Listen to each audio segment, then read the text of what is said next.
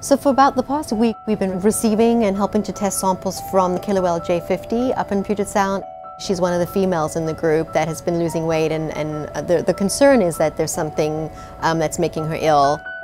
They're collecting fecal samples from her and others in the group um, at sea for a suite of testing to try to understand if they've been infected with bacteria or funguses or some sort of parasite that might be making her ill. And so we've been trying to work up samples from her to understand what may or may not be making her ill, as well as collect samples when possible from other animals in the pod to do a comparison.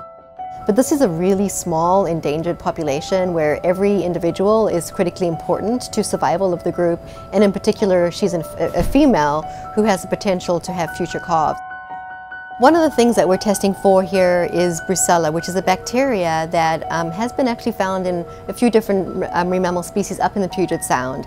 And it's of concern because it can cause um, infection in, in the animal itself, but also can be associated with reproductive failure. And if we are able to detect that, that could be important in terms of helping to treat her and monitoring her future reproductive success.